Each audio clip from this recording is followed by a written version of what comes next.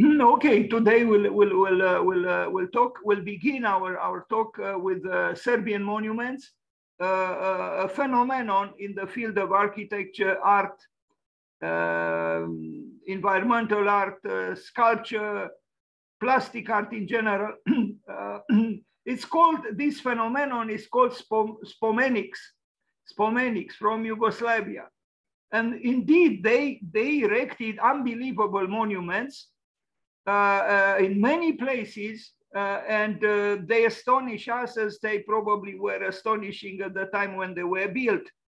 Uh, probably they started to build them around 1960s or so, maybe even 1950s. I don't know exactly.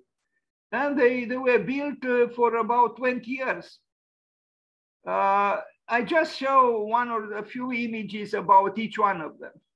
This is a monumental sculpture, but uh, in some places I even call, I, I even saw it being um, described as, uh, as architecture, but it is a sculptural uh, work of uh, monumental proportions, and I think it's very, very dramatic. With these monuments, the Serbians, the Serbs, they, um, they try to pay homage to those who died in the Second World War.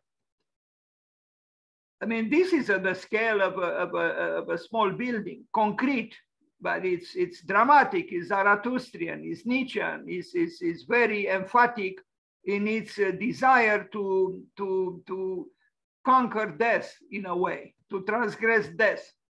This is a building a building done at that time in communism under Tito's uh, rule.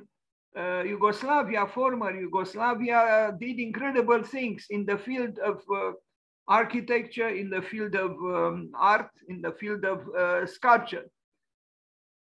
The reason I chose to talk about this today is because um, I, I, I, mainly I wanted to address the, the, the first year students who have um, you know, who study, uh, you know, materials, constructive materials, and, and these are buildings and sculptures done in concrete, like this one. And you know, in a strange way, and some kind of a strange uh, coincidence or synchronicity. After this, I will talk about Rudolf Steiner.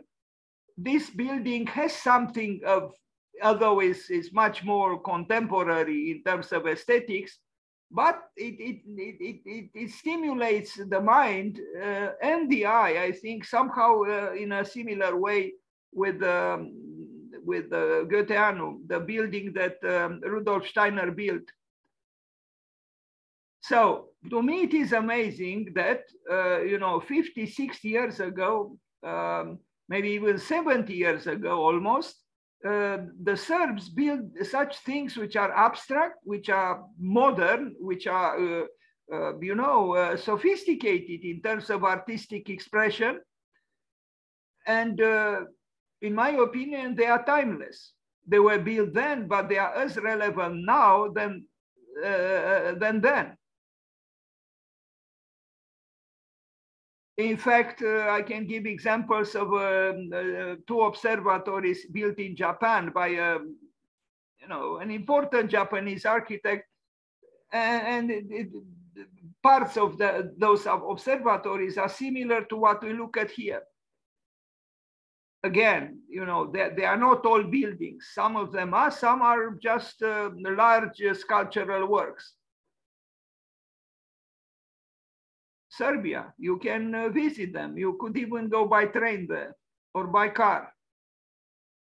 I find them very moving and, and, and, and courageous and, and heroic.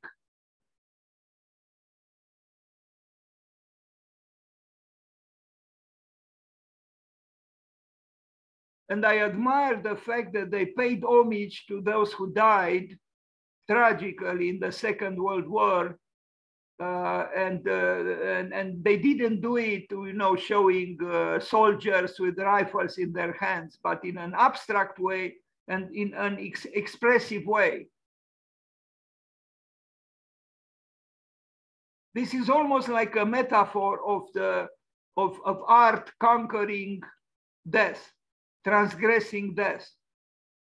I find them very moving and visionary. Uh, we already saw a picture of this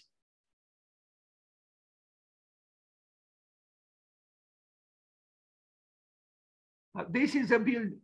I hope I have other pictures with it because I, I like it. But you see, it's a very heroic, uh, vital, vitalist architecture that they built, as I said, 50, 60 years ago, if not 70. And many I truly find all this uh, collective work as, as, a, as, a, as a beautiful uh, uh, transgression of death, as a beautiful homage to those who died.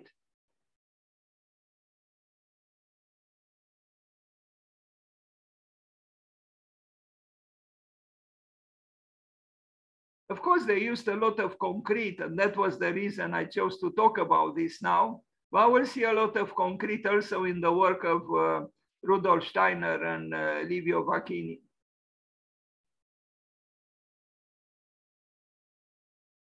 This uh, sculptor was well known in, in, in Yugoslavia uh, and um, he did, uh, I think, very moving works, as you can see here.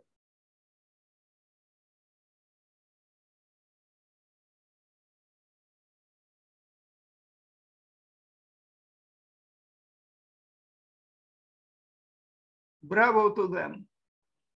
Because I, I, I, think significant artworks are a victory for everybody. Of course, they were done by certain individuals, but somehow it is a collective victory. You know, they, they, they, they uh, uh, um, through the individual work, they transgress their own individuality. So it becomes kind of a, like, a, uh, you know, a, a collective, a collective achievement.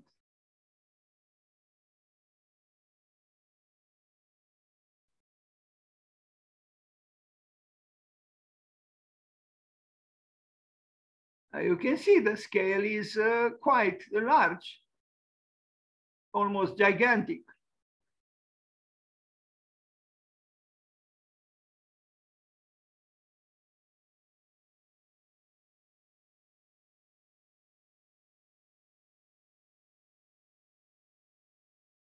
I truly find them very, very moving.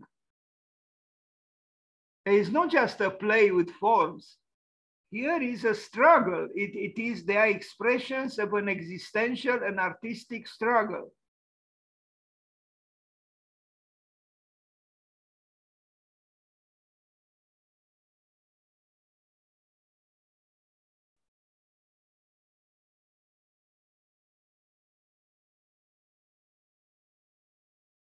I also like this picture because, you know, it shows the, um, you know, the, the dialectics between the old uh, church and the new sculpture. And, you know, the new and the old can coexist and uh, should coexist.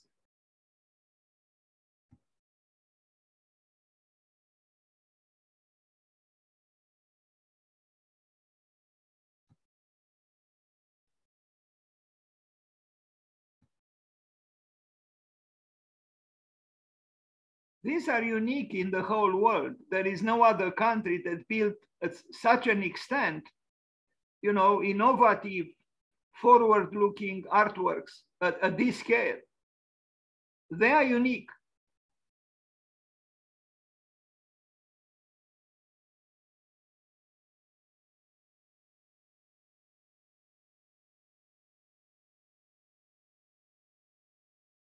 concrete, much can be done with concrete. Too bad it pollutes. But it's a, it's a material that allows for many forms, many shapes.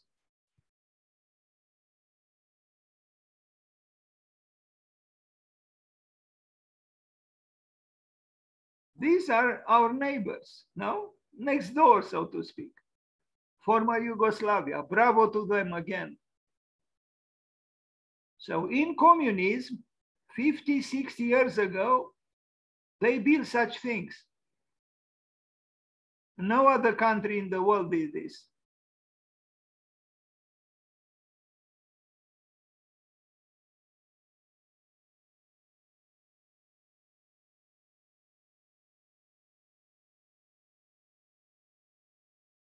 You can see they are huge. You see the human silhouette there.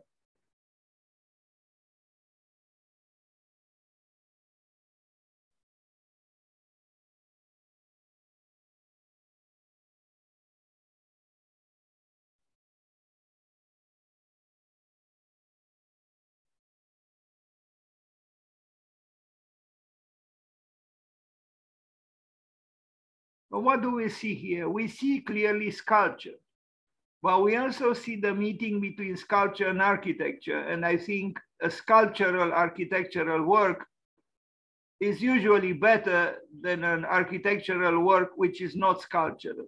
Sculpture adds something to architecture.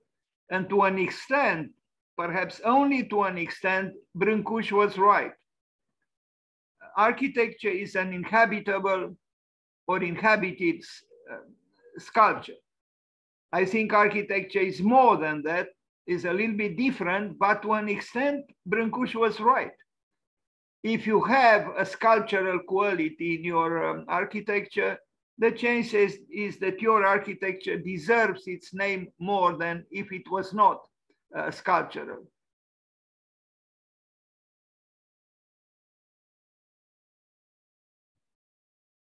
Many of these uh, works uh, actually depict struggle, conflict, but also I think they, they depict, you know, uh, the possible redemption through art. Conquering death, to put it bluntly.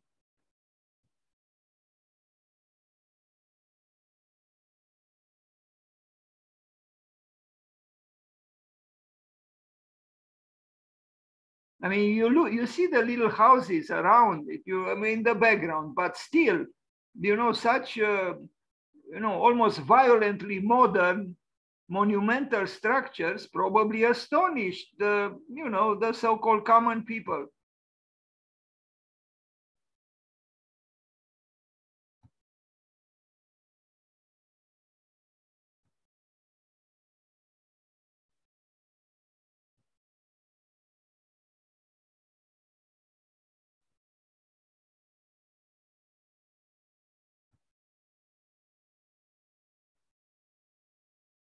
I mean, you know, we can build anything these days.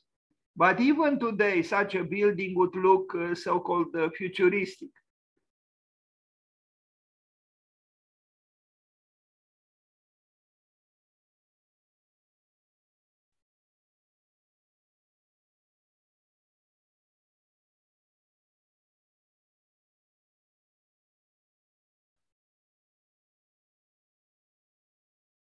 In my opinion, and it's not only my opinion, great architecture inspires. You can only imagine these children, you know, you know, exploring the building, moving towards it. Something remains within them, you know, the, the power of, of, of artistic emotion.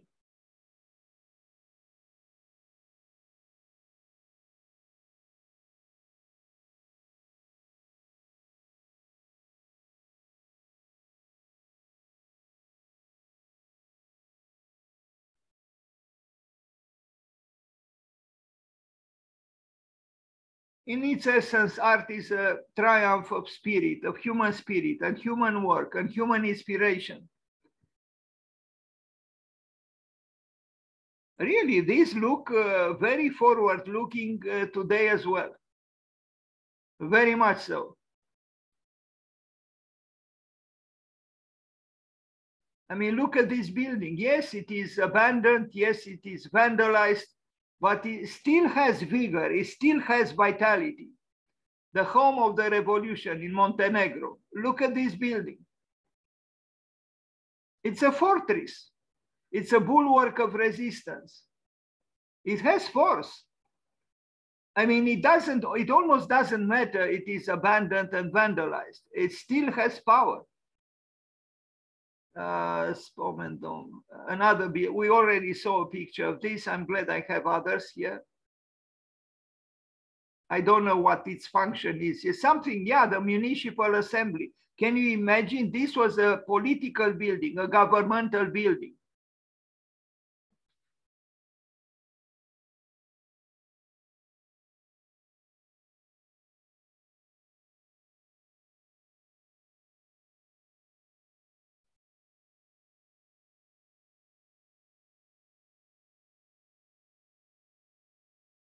These people were really visionaries. But I, am tempted to think that 200 years from now, you know, if there will still be humanity on this earth, if they come across, you know, uh, these works, they would be as astonished as I was when I first saw them. Uh, you see the building here on the left, and you see this building, and they have nothing in common. The, this building didn't try to mimic this house. It's, it's a world in itself. A municipal building. Very powerful.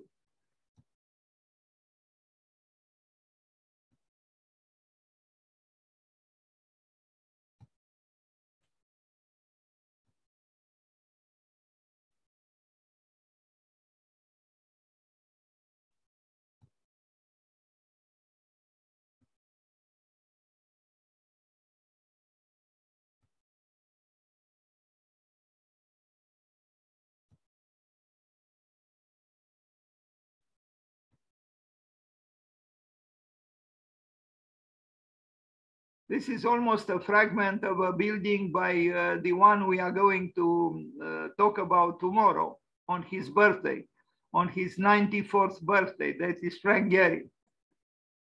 Uh, this was built 56 years ago in former Yugoslavia.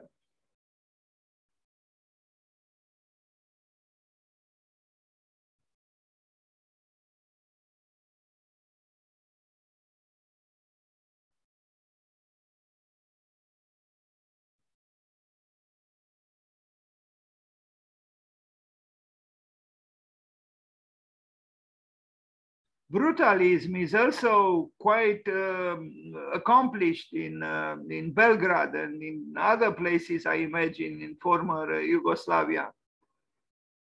As you can see, they master concrete, raw concrete.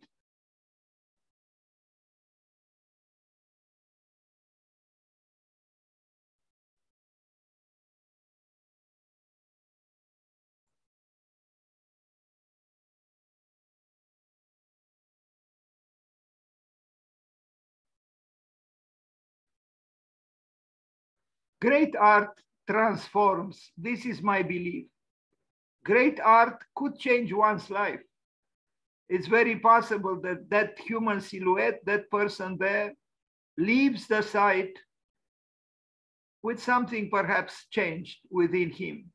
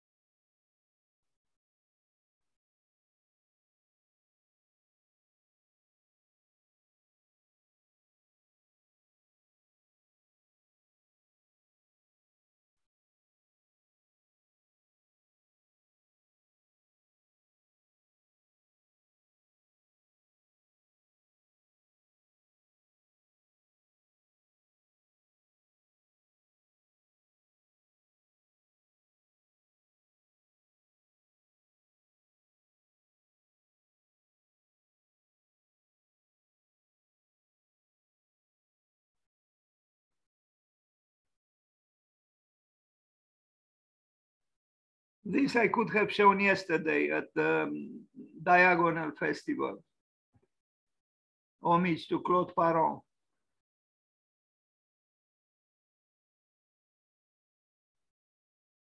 And the dancer there.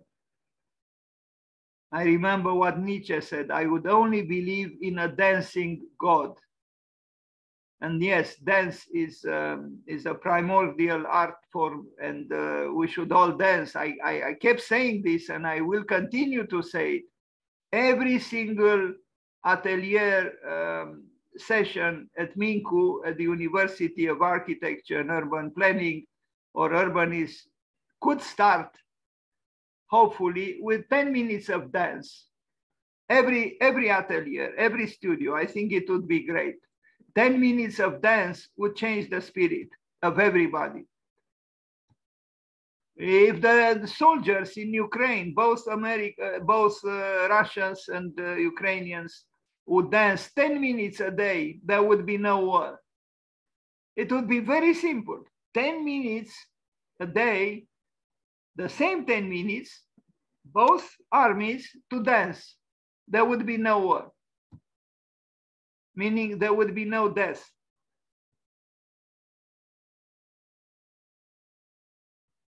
It's very sad that we prefer instead to kill instead of dancing.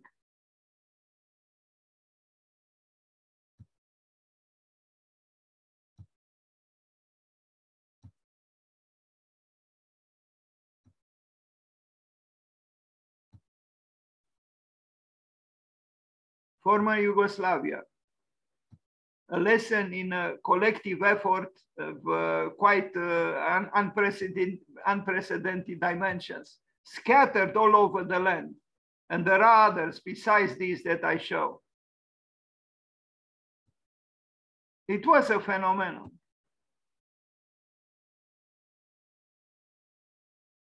sponsored by the state. Of course, such an effort uh, needed uh, financial support at the highest level. But this is amazing that the political organisms or institutions of former Yugoslavia paid for this. Bravo to them. The Monument de la the monuments of discord. I mean, look at this pavilion. I don't know how to call it. I mean, if this if this building was built today in Japan or I don't know where, we would say, wow, it was built in former Yugoslavia 60 years ago. It's it's almost like an unidentified flying object done in concrete.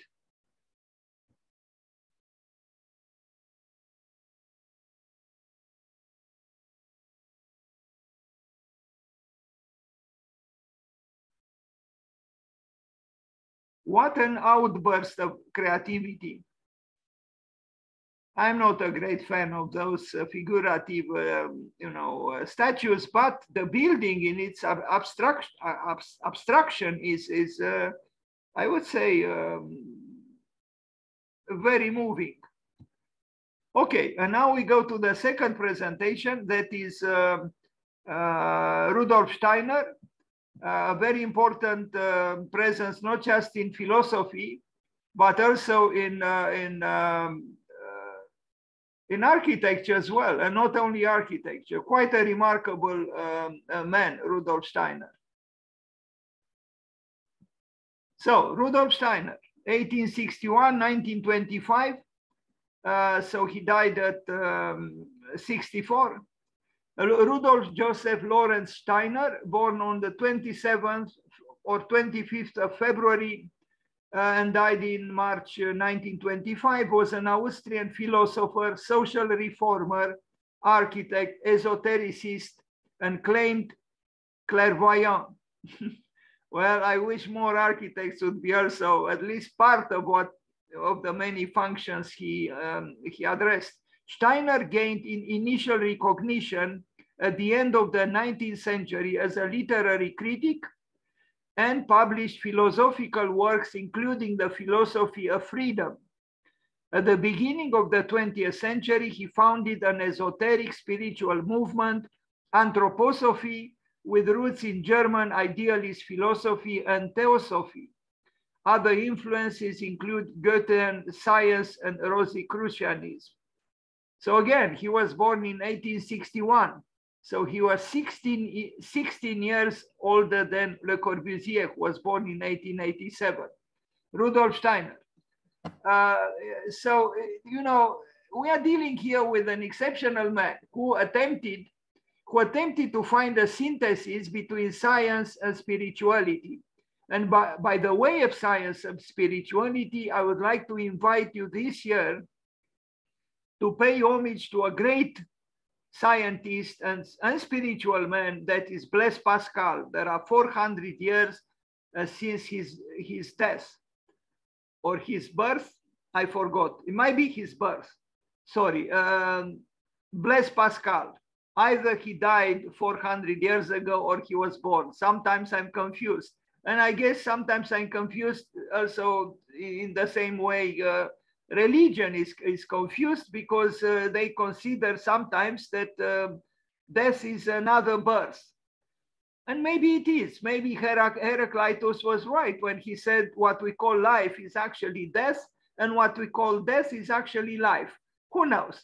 Anyway, we'll, we'll find out about the precise um, you know, uh, meaning of the, of the 400 celebration of Blaise Pascal. But now we talk about Rudolf Steiner. His philosophical work of these years, which he termed spiritual science, sought to apply the clarity of thinking characteristic of Western philosophy to spiritual questions, differentiating this approach from what he considered to be a vaguer approaches to mysticism. In a second phase, beginning around 1907, he began working collaboratively in a variety of artistic media, including drama, the movement arts, developing a new artistic form, eurythmy, and architecture, culminating in the building of the Goetheanum, a cultural center to house all the arts. Uh, this is the little house where he was born. Uh, and this is the young uh, Rudolf Steiner, or this was young Rudolf Steiner. Here he is in, a, you know, a little bit older age.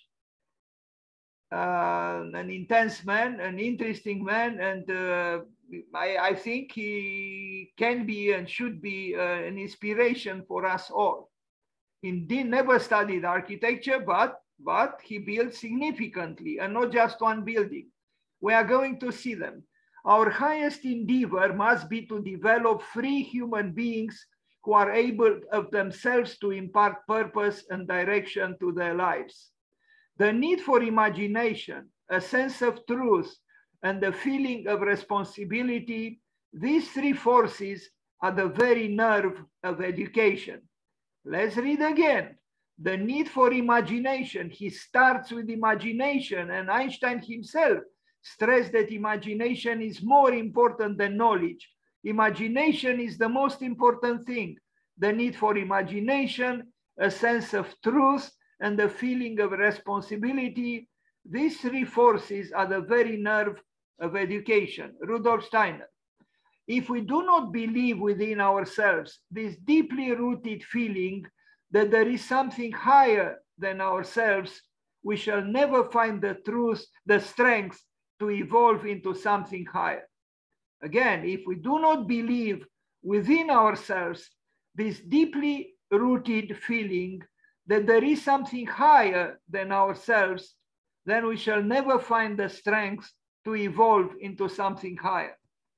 Goetheanum, the first one, he built two, but one was um, damaged by fire, and then he built another one. This was the first Goetheanum, and a very uh, particular uh, um, individual personal architecture. The first Goetheanum, a timber and concrete structure designed by Rudolf Steiner, was one of 17 buildings Steiner designed between 1908 and 1925. So in 17 years, he built 17 buildings without being an architect. It was intended as a Gesamtkunstwerk the synthesis of diverse artistic media and sensor, sensory effects infused with spiritual significance. Are we trying to infuse our buildings with spirit, spiritual significance? I doubt it. This is the second one, the second Goetheanum, which still stands. And it is a massive work, um, you know, uh, massive in, uh, in various um, senses. Das Heizhaus, the building that contains the boiler for the hot water, you see a very uh, utilitarian building, but which he elevates at symbolic meanings uh, for the hot water heating system of the first and later second Goetheanums. Of course, the name of the Goetheanum or the Goetheanums comes from Goethe, the great uh, German poet. In his form follows function method of the building. The building is dominated by the smokestack while the two qualified towers in the front are reminiscent of boilers. But this is a very simplistic description. This is the this is the building. Did you ever see a boiler room like this? This is a, you know a fantastic uh, building that uh, moves beyond uh, an utilitarian uh, description. After all, you know the building ends somewhere here. I mean, you know, he didn't need this uh, emphatic, uh, uh, you know, chimney. This reminds of, of the works um, of Antoni Gaudi in Barcelona. This is moving beyond the function, is, is moving into the realm almost of myth and uh, you know almost fairy tale but it's about fire let us not uh, hide this fact. A fire is not just something that we are afraid of, so we have to call the fireman. No, it's much more than that. It's, it's, it's maybe the, you know, the, the very beginning of the world, the primordial force, as Heraclitus called fire. Uh, fire uh, in Heraclitus' uh, vision came before uh, before the gods was was the primordial force but who taught architecture Rudolf Steiner? Nobody. Nobody taught him architecture, but he was able to build in and in a very, I would say, engaging and interesting way.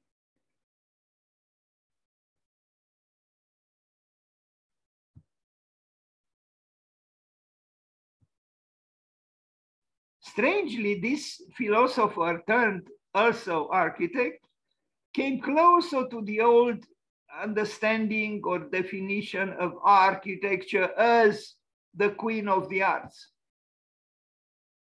I mean, even this parapet, you know, for the um, for the for a stair, it's creative and it's like a thunderbolt, you know, and it's it it could refer to, you know, uh, a fire house, a house from 1915, 1916 that this is the Goetheanum. No, no, it's a bit confused. No, it's a house that resembles the architecture of the Goetheanum. Now, he didn't really resolve, uh, I mean, on one hand, this anthroposophy and the quest for the synthesis of all arts, and on the other, of course, he was an Austrian with oblongs and these uh, rather, you know, sweet uh, windows. We can forgive him for this. Or in a way, maybe it's appropriate. We have the, the sacred and the profane together to refer to a title by Mircea Eliade. And look at this uh, door, you know, this entrance uh, into the building. It's carved with a, with a sculptural ethos.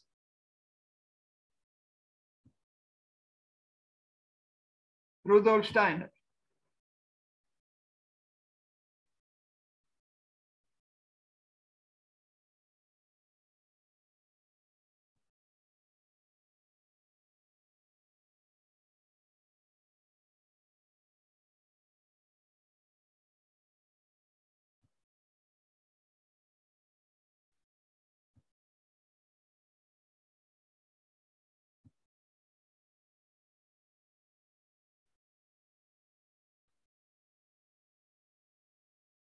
He also designed furniture and built furniture, and we are going to see some examples.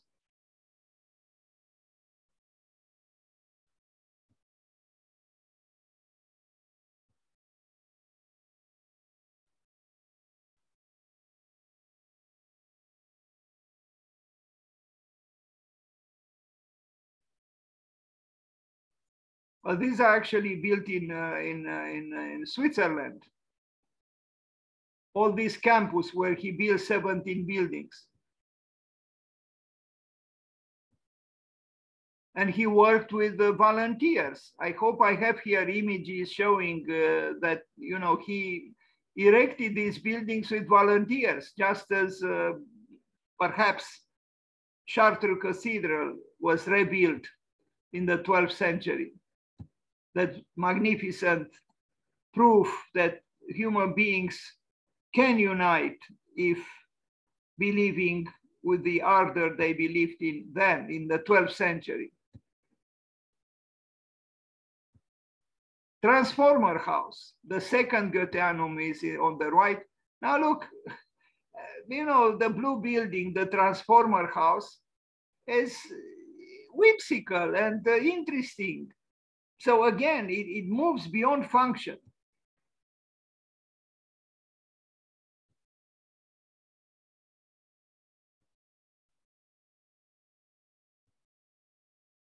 Now the second Goetheanum in Dornach, this is the model with all the buildings. The blue ones are built by him.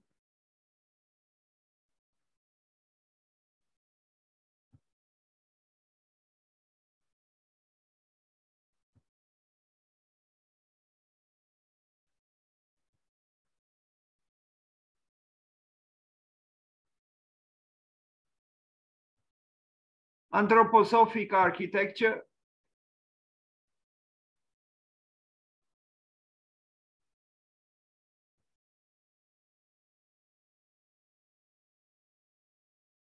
you know, the attempt to unite philosophy with architecture is a noble one.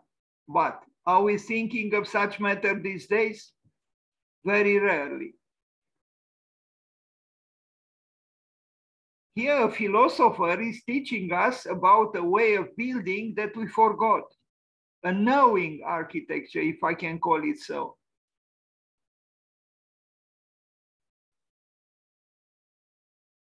They probably had, or he probably had uh, influential uh, supporters. You know, you cannot build such buildings with uh, an empty pocket.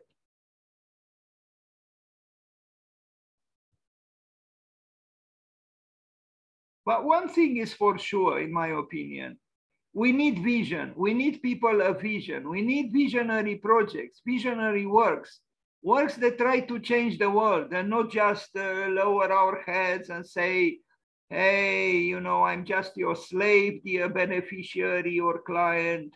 I will say yes to whatever you, you whisper, dear client.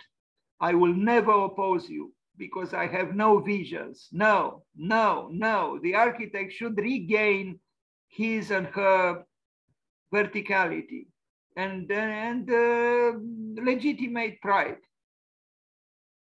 Not an arrogant one, though, hopefully.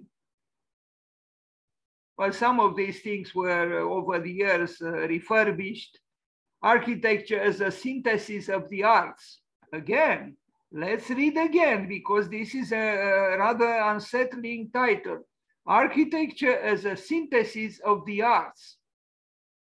Arts. Lecture by Rudolf Steiner. Then why are there so many members of the community of architects and students of architecture who are confused, who don't believe any longer that architecture is an art, and certainly not the queen of the arts, and certainly not an expression of a synthesis of the arts. But maybe this philosopher knew better. Here he works with many ladies in, you know, and I think they, they found uh, truly uh, uh, a sense in their lives by contributing to a building that was based on, on theories, on a philosophy that they agreed with. So they were, they were animated by a new faith in a way. They were not building a cathedral, but the spirit was probably similar somehow.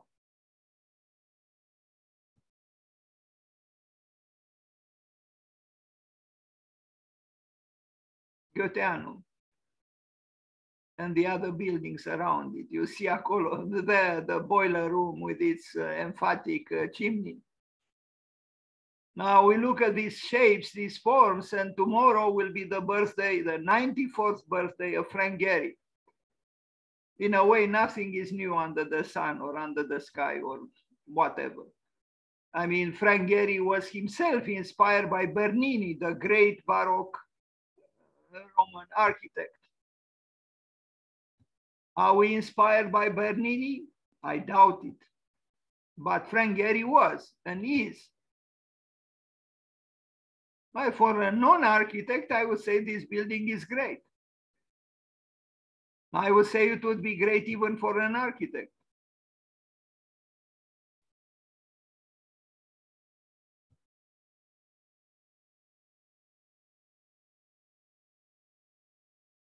Why did they build it in a dramatic way? Because drama is uh, warming up our souls.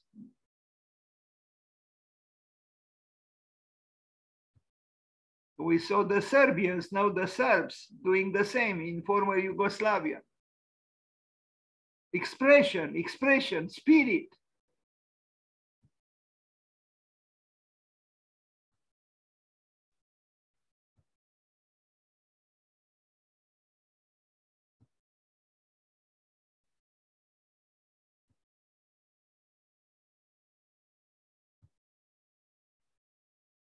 Everything is designed, you know, even the handles of the doors.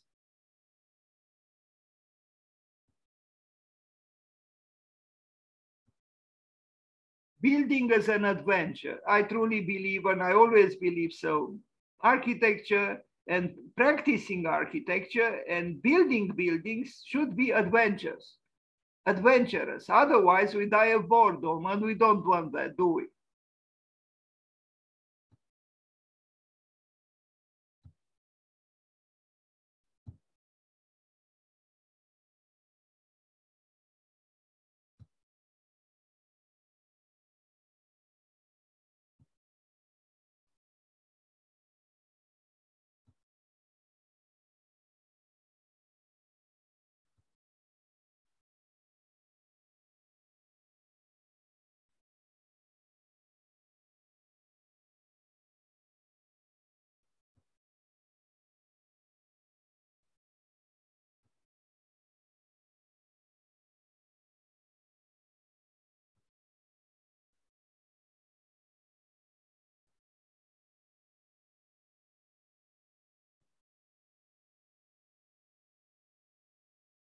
Concrete can be quite sculptural. Too bad it pollutes, but you know, maybe who knows?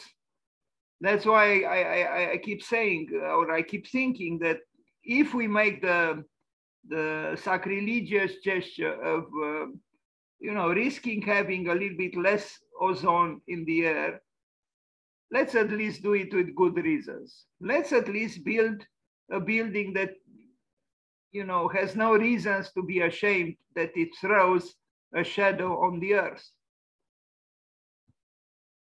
You could say, you know, God, please forgive me. Yes, I know I contribute to the climate change, but I built a beautiful building. Forgive me. I know, I know, I sinned. It's terrible what I did, but at least I built a beautiful building. Forgive me. But to build an ugly building, to build a meaningless building and still consume a lot of concrete and pollute the, the air, that, that, that should be a, a sin at, at uh, higher, much higher, uh, um, you know, uh, power, so to speak.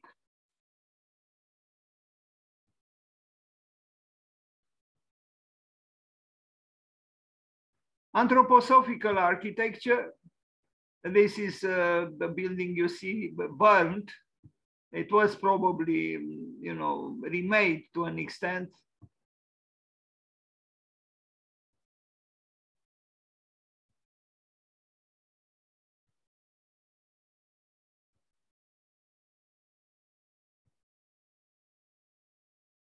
Rudolf Steiner.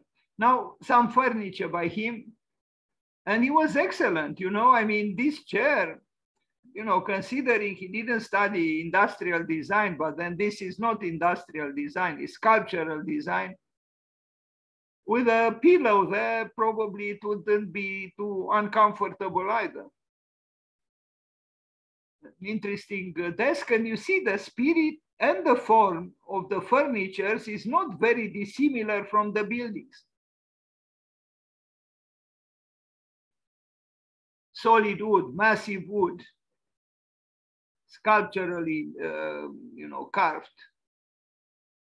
Even a lamp, another chair. This, this chair probably lasts more than the, the Egyptian pyramids. I mean, it's solid wood, as you can see. And look at this desk. This will never break. I mean, compare it with the, the IKEA, uh, you know, pieces of furniture, but those are made for the, you know, mass production. This is a unique piece. Rudolf Steiner, another chair. With some kind of uh, interesting meeting between the Gothic spirit and the modern spirit.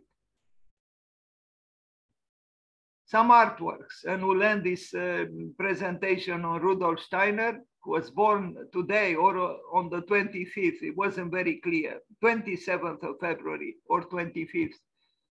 Um, he did all kinds of things, you know, even in painting, I think he was good.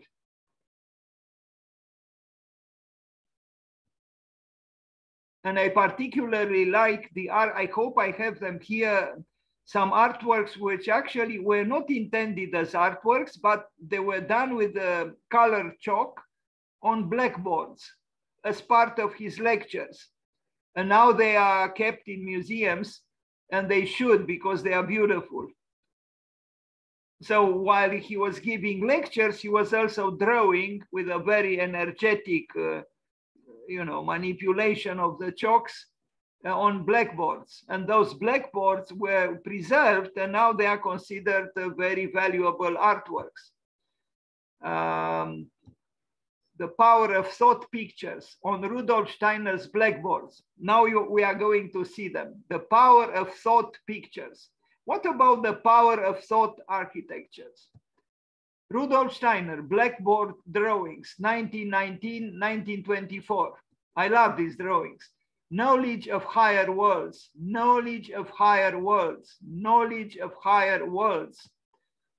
Look at them. They are beautiful.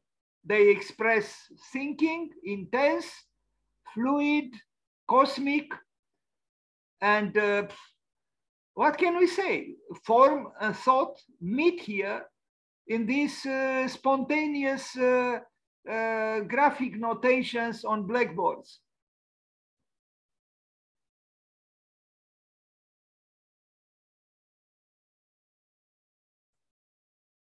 100 years ago, the 31st of March, maybe 1923 or 2029, anyway.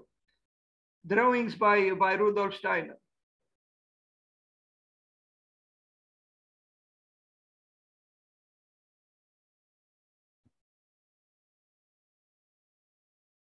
he was a very intense man who was searching for something. Maybe he found that something. Maybe like Picasso, he could have said, I do not find things.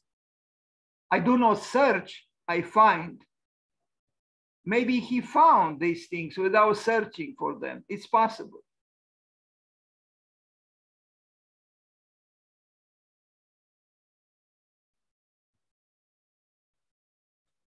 Well, you can find, I think, this, uh, it's probably a book, Artă și cunoaștere arte in Romanian. Here is another beautiful uh, blackboard um, drawing or artwork.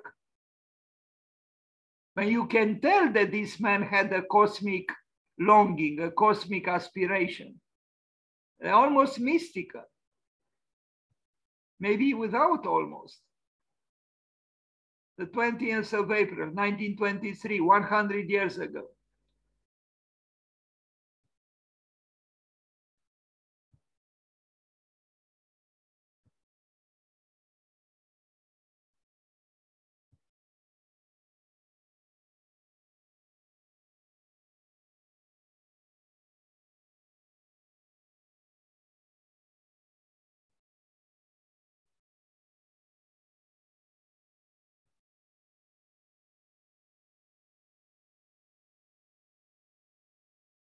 Maybe we need a philosopher, an anthroposophist, or whatever to tell us again what we forgot that art and architecture are uh, very close to each other, and that architecture was and maybe should be again the queen of the arts, or at least attempt the synthesis of all arts.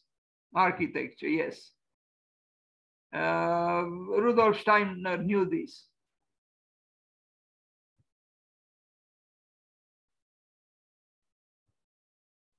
But in order to arrive at such knowledge or such intuition, we need again to make room in our souls and in our imagination and in our mind for exaltation. This man was obviously an exalted man.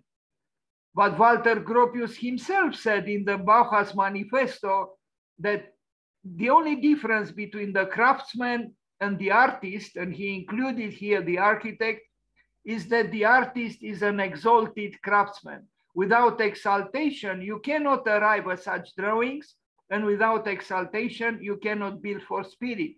And without exaltation, I don't think you, you can truly build in a truly significant way. You need something to exalt your soul, your imagination. And I don't think the refrigerator, the toilet, and the parking lot can do this. No, they can't. Sorry, but uh, I, I, have great doubts that uh, functionalism can still nourish us. I'm tired of functionalism, I, I confess. It ruined architecture in the long run. It had some legitimacy at the beginning of the 20th century, but not any longer. Steiner's gravestone at the Goetheanum, here it is. Even the gravestone is, um, is creative. I don't know if he designed it or not, but it's in the spirit of, of the buildings that we saw. Rudolf Steiner. Okay, now we go to the third presentation, an architect who is uh, who received some uh, some uh, you know admiration even uh, in in in our country. Maybe not only in our country but let's see let's see what he what he offers us today. Livio Vacchini 1933 2007 this was the man ideology and philosophy so apparently he was uh, interested in philosophy too in his own way uh, although in a very different way than Rudolf Steiner, and his buildings show it, although he was trained as an architect, at least for a while. Livio Vacchini was a Swiss architect from Ticino, uh, born uh, February 27th, and that's the reason we talk about him today, and died in 2007. Uh, 74. Livio Vacchini was born in Locarno, from 1953 to 1958, he studied architecture at Swiss Federal Institute of Technology in Zurich.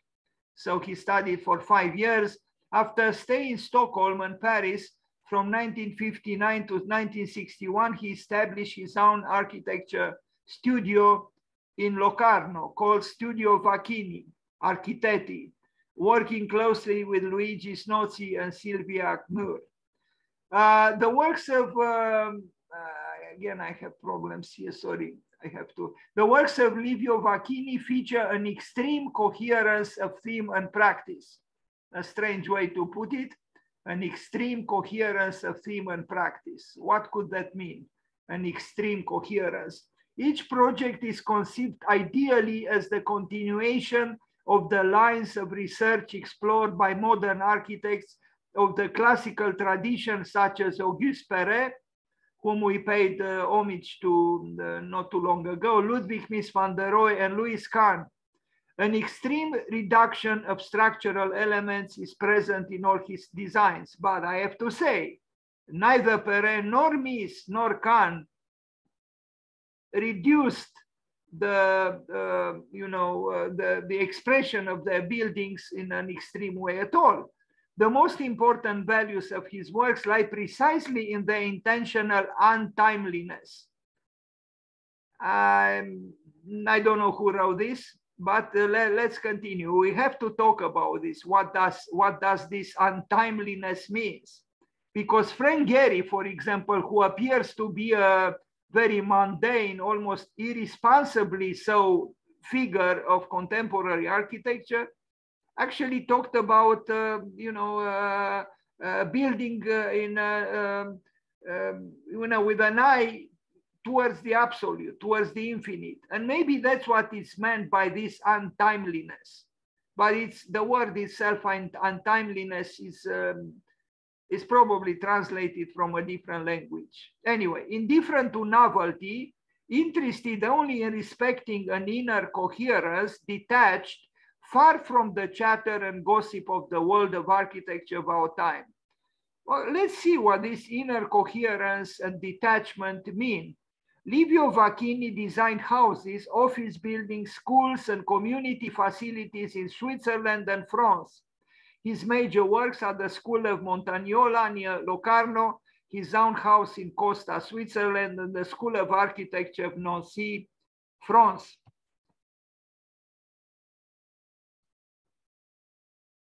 Casa I don't know very well how to read, Beheimer, Solduno, Locarno, 1961, 1962. Uh, what can we say? Uh, modernism through and through. To be honest with you, I know a little bit his work. I, I looked at the images of his work. I read some of his thoughts. He doesn't impress me a lot.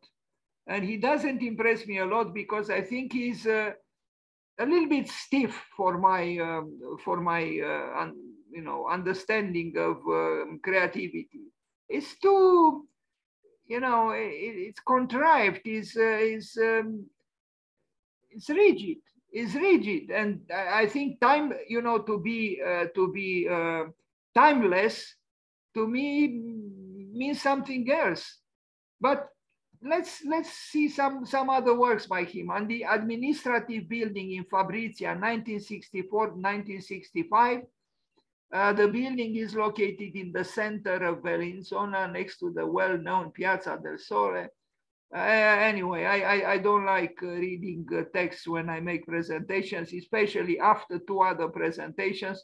I, I, I am a little bit um, uh, tired and I know his architecture is going to make me even more tired because I think in opposition to Rudolf Steiner and the great uh, builders and sculptors of uh, former Yugoslavia, he reminds me too much of the um, rationalism in a way of, of, of, of uh, the functionalist school, you know. He might call this timeless architecture, but I see timelessness in Louis Kahn, but I don't see timeless, time, really timelessness in the work of uh, uh, Lucio, uh, uh, Livio Vacchini. I see more timelessness in Mies van der Rohe than in um, Livio Vacchini. Low cost housing. Um, this six levels apartment building is located on the delta of the now over the air. It has undergone a radical transformation. Anyway, let's let's look at it. Now, really, what is so timeless about it? You know, I mean, yes, I recognize the, you know, the rigor and, uh, but, but, but but what is it so timeless about it? It's, it's a kind of architecture that uh, I have seen many times in Scandinavian countries, you know, and, and not only Scandinavian countries. It's, an, it's a predictable architecture. Yes, done with seriousness, it's true, but I don't see that cosmic quality that would uh, qualify to be timeless a Pavilion Neuropsychiatric County Hospital, 1967, again with the same architect, Luigi Snozzi. Again, is this a timeless architecture? In my opinion, it is not. Housing and Public Center, 1967, 1969. Uh, apartment buildings. But I, I personally think that if you pass by it driving, you might not stop to look at the timeless piece of architecture. I'm sorry, I might stop to look at the tree on the left, yes. But the building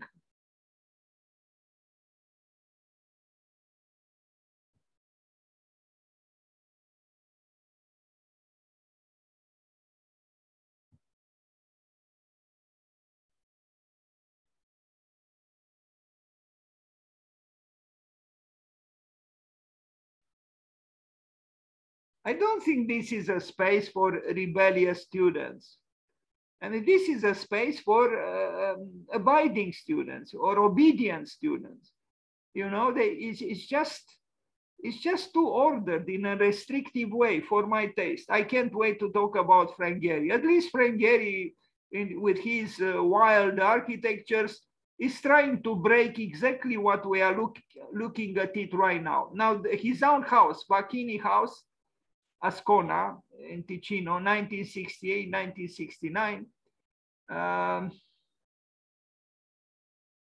maybe we'll come back to the text. This one, though, is more interesting, in my opinion, eh, because it's not so, um, uh, also maybe because of the plans and the structure is rather thin and unobstructive, unobstruct, unobstruct. I can't talk any longer in English. I should I should abstain from doing three presentations in one day. Uh, this building I, I could accept, although there are other architectures very similar to this one, both in Europe and the United States. But this one, uh, uh, and being it's, a it's a individual housing unit, it's a it's a dwelling for himself and his family. I think it's okay, but I wouldn't call this one timeless either.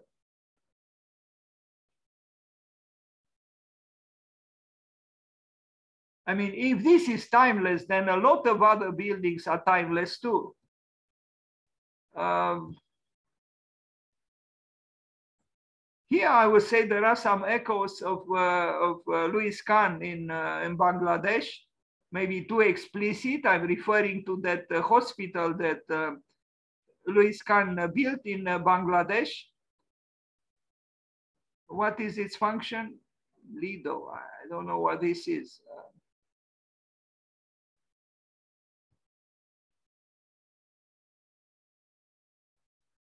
But while, while in the case of Louis Kahn, there is indeed an archetypal architecture, an Ur architecture, an architecture of great force and, and, and uh, you know, even um, uh, uh, cosmo, cosmic attributes, as, as I would like to say. Here, I don't see this. It's just a mimicking of something that Louis Kahn did at a smaller scale and without any kind of uh, aspirations to communicate with the cosmos or with the sun or whatever.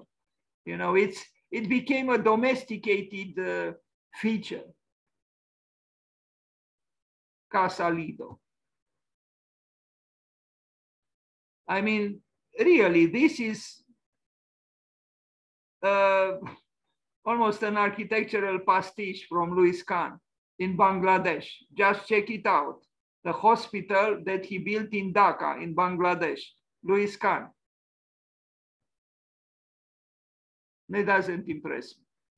Yeah, oh, I'm glad I have, I forgot, I, I prepared this uh, material um, uh, two or three years ago. So now you'll see what Louis Kahn did for this hospital in Dhaka in Bangladesh.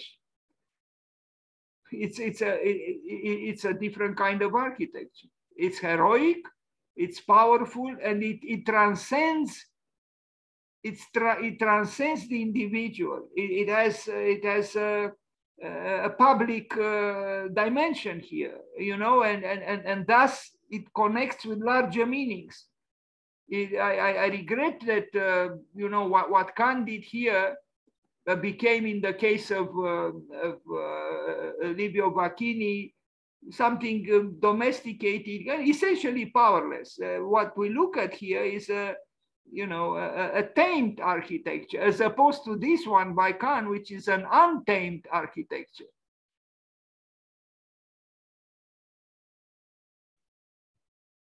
Alfredo House. Let's see the Alfredo House. Now I'm sorry. If this would have been described now, I don't know, maybe it's not a private house. I hope it's not. Although it's, let's read because I'm actually intrigued. Uh, those neither its function or its internal distribution is a compact square building. The volume abstractness allows the combining of two functional aspects, the working and the living. I guess it's a house, but it doesn't look like a house at all. You know, I mean, would you live in such a house? I wouldn't. This could have been a museum, an office, an institution, but not a home, not a house. It's actually unbelievable. It's almost the, it's almost the antithesis of a home, of a house. And not because I have domestic, uh, you know, longings, because I don't. And I hate bourgeois life. But what I see here, it's a, it's the very opposite of what a home is supposed to be. And look at look at the side uh, or the corner. No window is open. Everything is shut. It's as if this is clearly the statement of a misanthrope. Uh, really, this is not a house. Casa Alfredo. no, no way.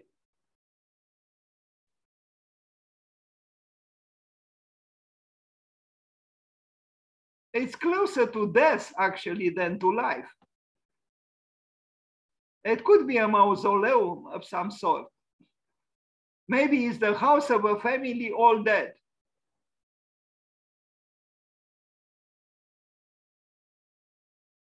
Really, I, I, I don't understand this architect. Maybe I have an issue. Maybe I have problems. But Casa Vacchini, to Costa. This is someone else, another Vacchini, I guess. The Vacchini house in Costa is oriented southward and is formed by two identical and communicating spaces, both defined by a structure which is reduced to the limits of physical law. Uh, now look at this again. Isn't this closer to death than to life? I mean, I could almost say it's an insult to the landscape. He, after we saw the Zara, beautiful Zarathustrian, you know, art and sculpture, I mean, sculpture and architecture of, of, of former Yugoslavia in uh, approximately similar uh, landscapes, here we see this uh, alarmingly alarmingly sterile building. I mean, is this supposed to be the entrance into the so-called house? Uh, no window open, nothing, no opening. It's as if you enter into a garage, for God's sake, or some kind of a storage space. Storage of corpses, probably, not living people. And the side elevation, I would not call a timeless in any way. Yes, uh, I mean, I don't know. I see here, maybe I don't understand very well. Maybe there are shutters that, um, you know, uh, slide and cover the windows, but the interior to me is equally pretentious and uh, its glitter is, uh, um, is, is, is, is artificial. You know, it's, it's it's it's the solitary space of a I would say a, a misanthrope of some sort who wants to enjoy by himself, uh, you know, the the distant landscape. Now it's it's, it's, it's something that I, I I I mean I am not lying. I like more this building than this one. Even this one seems to be a little better than this one. This one is uh, a nuisance, you know, the arrogance of a well-to-do architect who is, uh, you know, playing, uh, being God kind of here. But I like much more this one. It's more humble, it's closer to the earth, it's made with organic materials. This is sheer, uh, this is uh, really uh, a nuisance. A nuisance in, in the landscape and a nuisance to the neighbors uh, if there are some sophistications here, they are very sterile, in my opinion. Uh,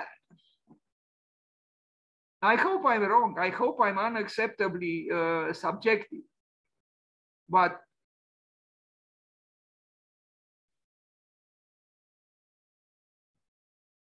synagoga, Dresda, Germany, Germania, from 1997 in Dresden. I don't know who wrote this, a fascist synagogue. Of course, it is a, a paradox or an oxymoron, you know, because, uh, you know, it's like the president of Ukraine being accused of being a Nazi. this is what he proposed. I don't think it was built, but I'm very sorry. Whoever wrote this, a fascist synagogue, it might have, it might be right.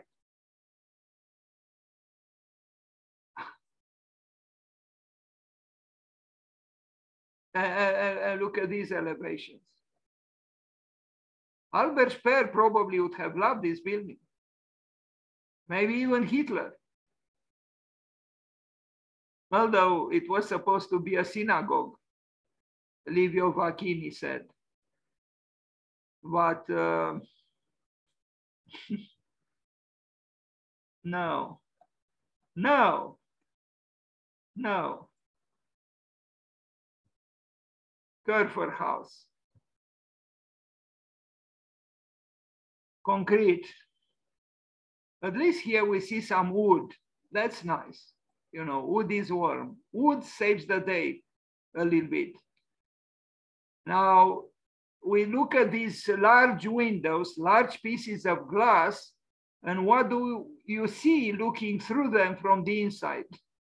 You know, you see this at, uh, I don't know, three meters distance. Isn't this an affectation? Why would one make such a huge, you know, uh, glass wall to, to contemplate what? I mean, I don't here you'd understand, of course. You see a landscape as if you are in, uh, you know, in, in, in China somewhere with the mountains and the hills and the, you know, the falling waters um, covered by a thick uh, fog, but, but not here. Whatever, this is a house of someone well-to-do, you know, who can afford the sophistication of Leo, uh, of Livio Vacchini. And um, it might even be that that's, that is a, a table by, what's her name, a Spanish, uh, French actually architect. Uh, I forgot her name she does, uh, you know, tables like this, or she did on, on wheels. There seem to be wheels. Uh, Aulenti, Aulenti, yes, who, be, who did actually a beautiful work in Barcelona uh, and also in Paris, the Musée d'Orsay. But in Barcelona, the, the Museum of Catalan, uh, old Catalan art, very, very nice works.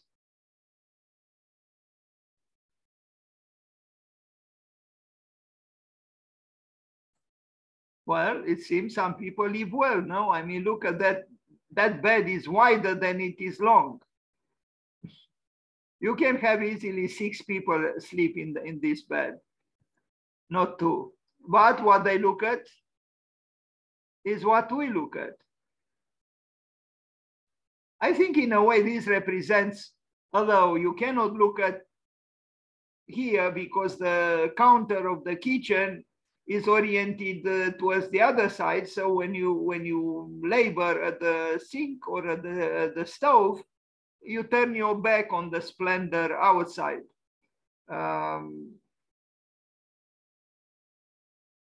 a commercial, administrative and commercial building on, on Locarno, another timeless work by Livio Vacchini, based on the grid, grid, grid, and grid again. Maybe we could even write G-R-E-E-D instead of G-R-I-D.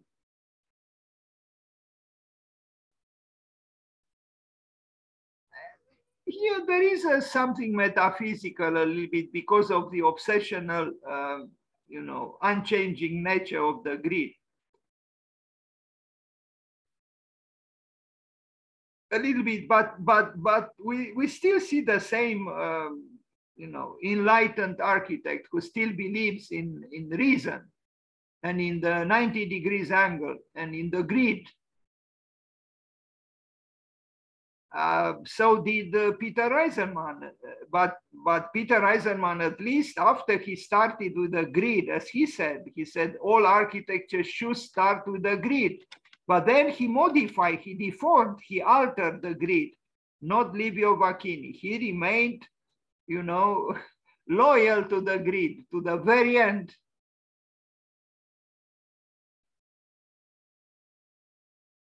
Who knows, maybe the experience, the real experience of his buildings might um, contradict what I, I try to um, express today um, rather spontaneously.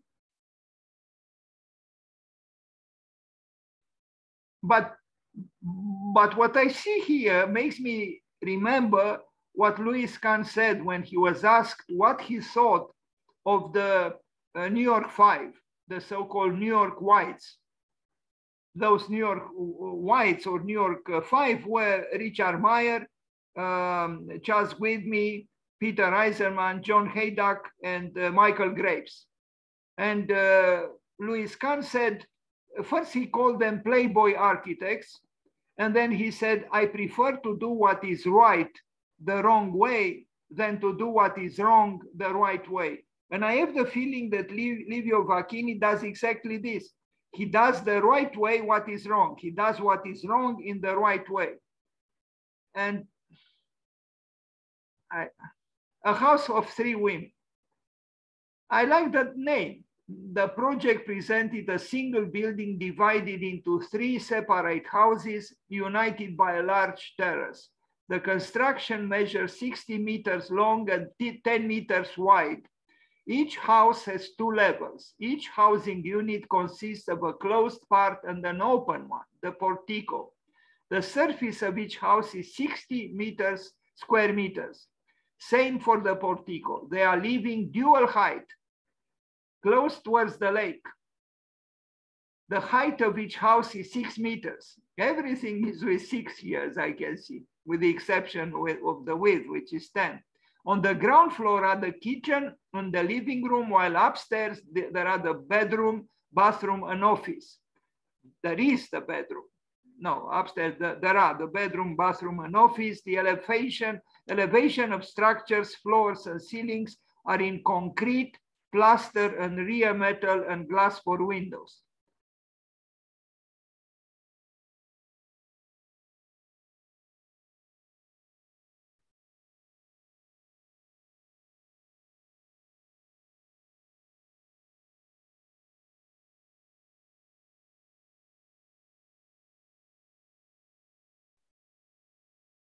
Three lonely women,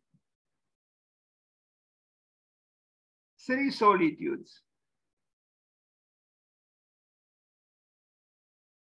enveloped by, um, you know, a carcass of concrete and glass and steel. This makes one think uh, a little bit of Tadao Ando. A lot of glass, does any window open here?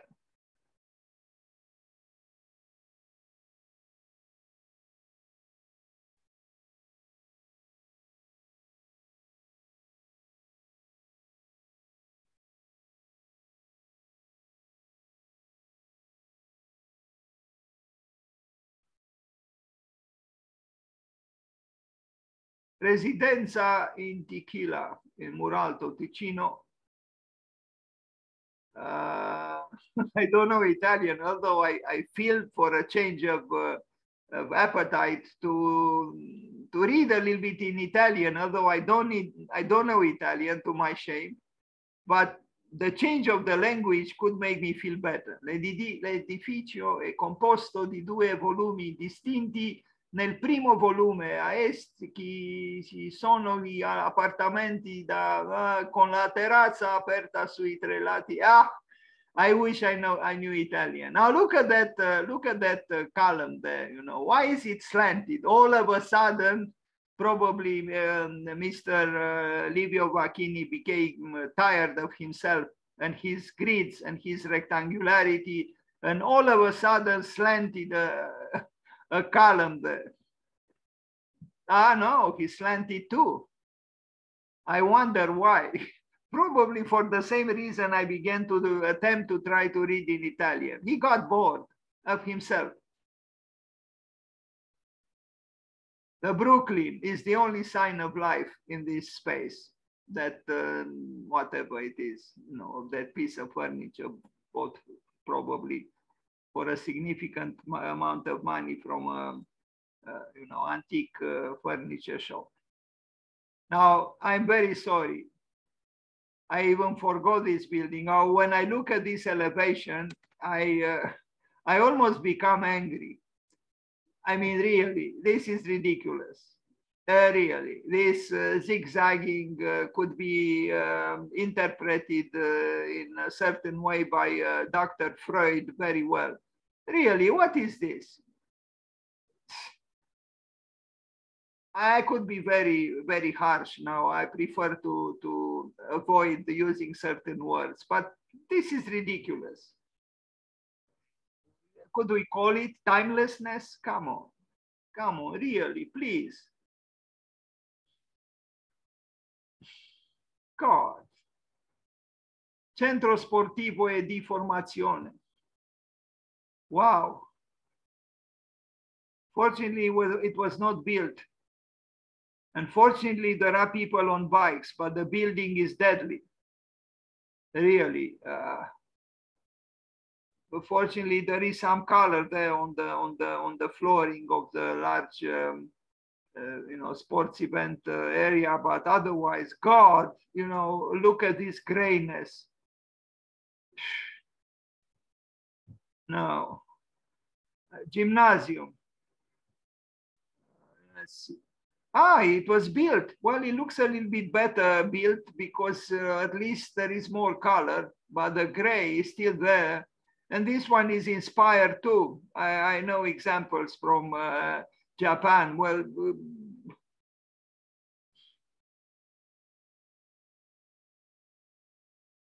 in my opinion, is the uh, detrimental understanding of what timelessness, but he didn't call it timelessness, untimeliness, untimeliness. Maybe there is a difference between timelessness and untimeliness, timeliness.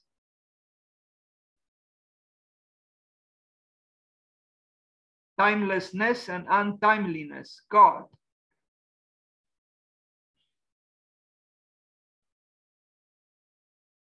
It's a gymnasium. I wouldn't like to, to study here. I wouldn't like even to play sport. Although what's nice, it looks through that window and you see the beauty of nature, trees, sky, colors.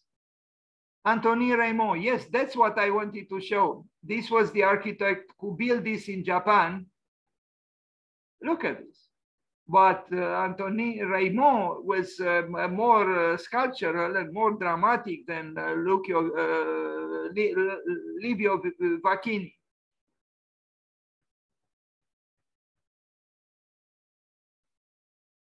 The rhythm is more powerful in, in uh, Raymond.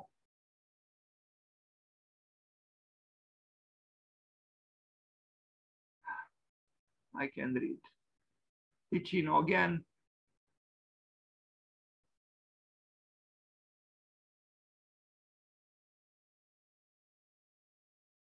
Even this was done before. This man found inspiration in the work of several architects. There was an architect in Spain who built, who uses this uh, motif, so to speak, at a smaller scale. And I, I don't know if I have here the, yes, Francisco Javier Sáenz de Oiza from 1950s. Look at this.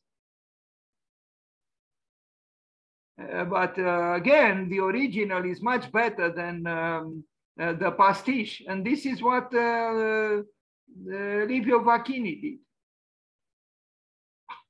I, in my opinion, well, I don't know who said it. Maybe Einstein again, because all quotations seem to come from uh, Albert Einstein. But he says something like this, that the genius is the one who uh, inspires himself from other people without ever being able to, to tell the source of the inspiration.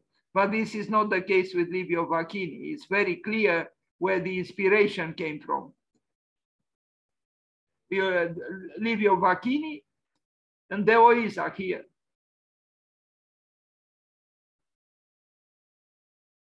And Louis Kahn but Louis Kahn, again, a, a, different kind of architect. In the case of Louis Kahn, contemplating the ceiling of his art gallery at Yale University, we see a man who truly aspired towards uh, timelessness, but not maybe untimeliness.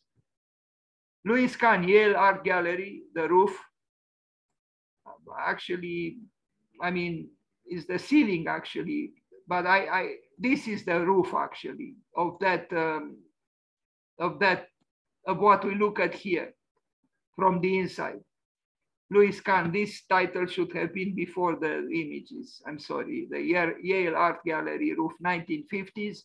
And this is the building by um, Livio Vacchini. In my opinion, he didn't transcend sufficiently well the source of inspiration. Uh, his source of, sources of inspiration, apartments, house, La Penice, um,